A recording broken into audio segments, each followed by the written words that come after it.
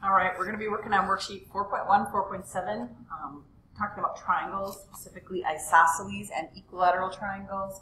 Um, remember in the notes we covered that isosceles triangles are triangles with two equal sides, and the result of that is that they have two equal angles. Equilateral triangles are triangles with three equal sides, and the consequences of that are that they have three equal angles. Um, so we will apply that to find different values of x, um, both sides and angles. If you go down um, to the bottom of the first page, the first set of application problems, um, we'll look at a couple different um, scenarios. Um, I noticed on question number seven that we have three equal angles, and that means all of the angles have to be exactly the same. So I can fill in 5x and 5x on the angle R and angle T. We can do one of two things here we can simply say that 5x plus 5x plus 5x is equal to 180 degrees. Adding all of that together, we get 15x equals 180. And then we will divide by 15. The other thing that we can do is we can think, well, all of the angles add up to 180 degrees. And if I divide that by 3, then each angle should be 60 degrees and I can take 5x and equal it to 60 degrees. In either case, you will get the exact same answer. x turns out to be 12. So two different um, reasonings, and you get the same answer. So whatever uh, makes more sense to you. If we move over to question number 12, we notice that we have two equal sides that means the two angles that are opposite those sides have to also be equal. So in this case, we take the 7x plus 5 and set it equal to the x plus 47.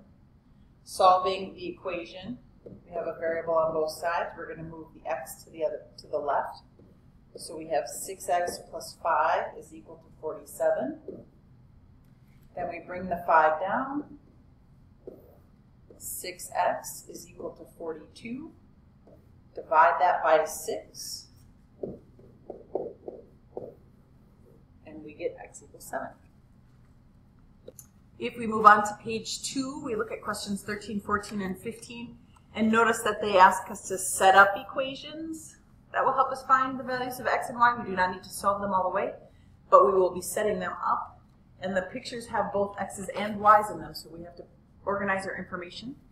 Um, in question 13, we have two sides that are the same, which means these two angles are the same. So we have 5x plus 6 equals y minus 9. Here we have a situation where we have both x's and y's in the same equation, so that doesn't do us much good. So we have to go back to the diagram, and we look up here and we notice that we have 98 degrees on the top if we take 180 degrees and subtract out the 98, we're left with 82 degrees. And if we divide that in half, it turns out that each of these degrees will be 41. Now we have two different equations. We have 5x plus 6 is equal to 41, and we have y minus 9 equals 41.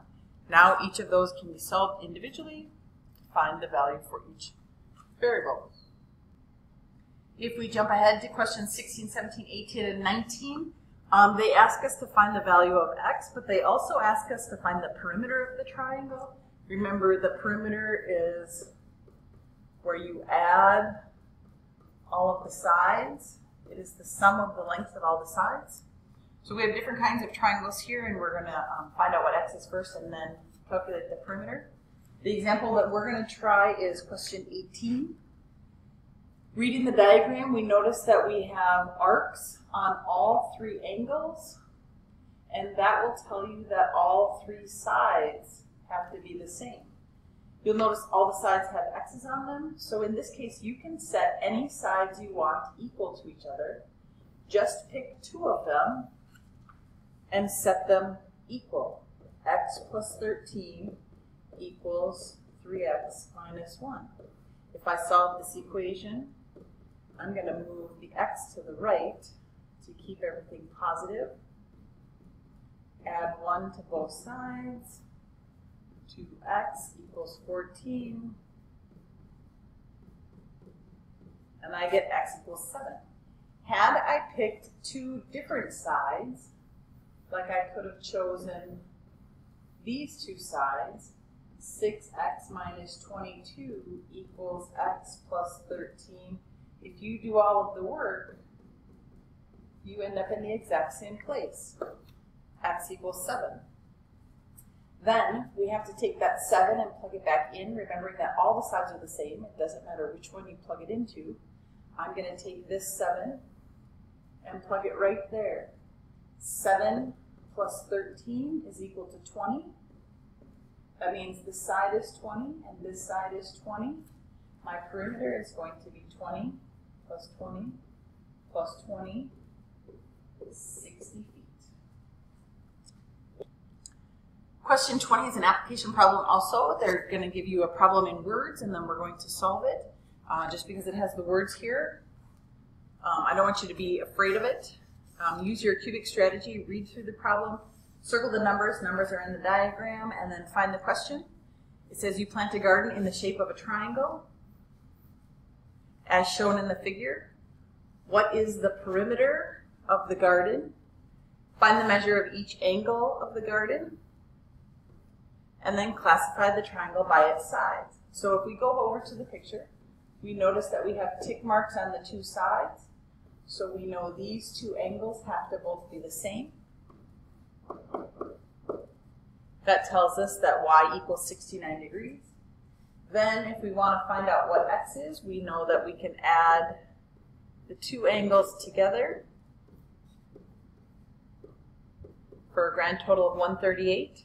And then we can do 180 minus 138 to find out that x is equal to 42 degrees.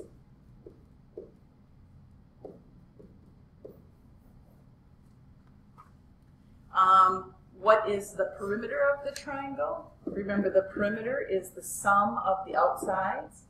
So if I have 8 up here on the um, top, I can put 8 on the bottom.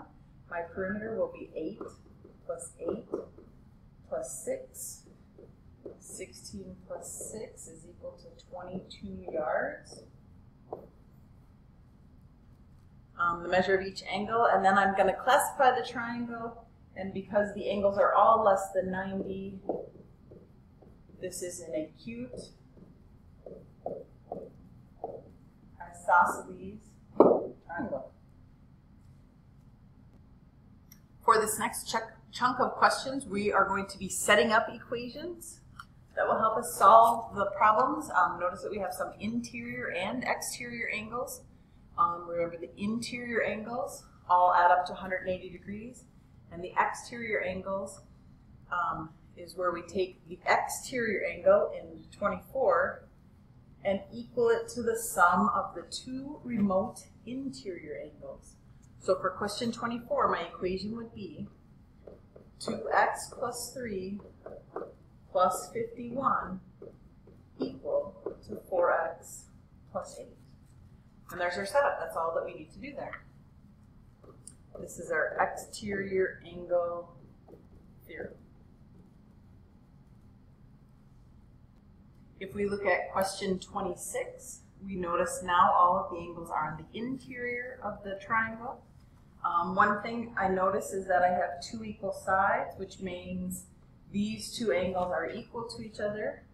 The easiest equation would be 2x plus 2 equal to 2x plus 2. But because both sides are the same, that's not going to get us anywhere.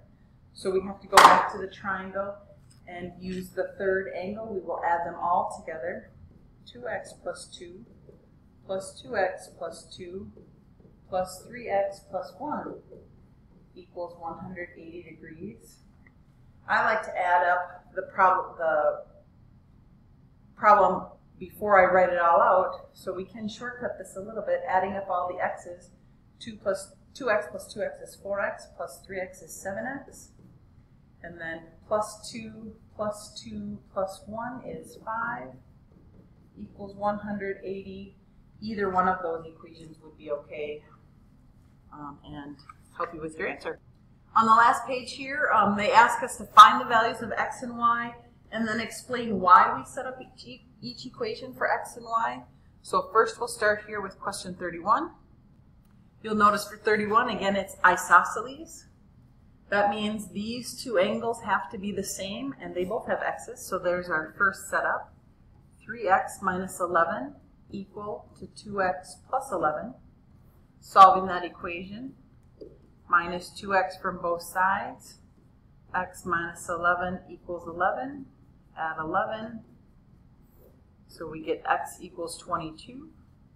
Um, the reason for that is isosceles triangles have two equal angles. And then we need to move on and find the y part. In order to do the y part, we're going to take this 22 right here and we're going to plug it back into the problem. 2 times 22 plus 11 is 44 plus 11, 55 degrees. So we have 55 in both of these corners. That means 55 plus 55 is equal to 110 degrees. We take that and subtract from 180 and we get 70. So we know that the third angle, 2y, must equal 70 degrees. So divided by 2, we have y equals 35. And the reason that we know that is that there are 180 degrees in a triangle. Plugging our number back in, we find that. Then the last question on the page um, is question 33. Again, I'm going to start with the x's on the big triangle on the right. I notice that I have two equal angles. So I know that I have two, um, excuse me, two equal sides, so I know I have two equal angles. So I have 3x plus 10 equal to 5x minus 10, minusing 3x to both sides. 10 is equal to 2x minus 10, adding 10, 2x equals 20, dividing by 2's. Um, if I take that 10 and plug it in to this spot right here, I get 5 times 10 minus 10. 50 minus 10 is equal to 40. And so we need to take those two angles and get information on the triangle on the left. Um, let's step back here for a second. This was isosceles triangle has two equal angles. Then if we move on to the triangle on the right, if these two angles are both 40, I know 40 plus 40 is equal to 80. That makes this angle 100. That makes on the other side this angle 80. And then I know that 4y has to equal 80. So I divide both sides by 4. And that makes this 20. Why again are those equal? Because I have two equal sides, so those two angles are both equal. And again, isosceles triangle has two equal angles. Good luck, and we can talk some more in class tomorrow.